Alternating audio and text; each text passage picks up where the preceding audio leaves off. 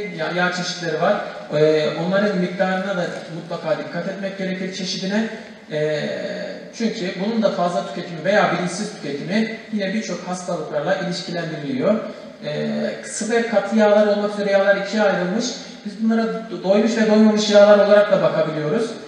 Doymuş yağ dediğimiz katı yağlar, yani hayvansal yağlar genelde, bazı e, bitkisel yağlar da var doymuş ama genelde biz katı yağları e, hayvansal yağ olarak biliyorduk. İç yağ, kuyruk yağ veya işte bitkisel e, yağlardan doyurularak sanayide üretilen margarin, margarinler e, bu sınıfa girer.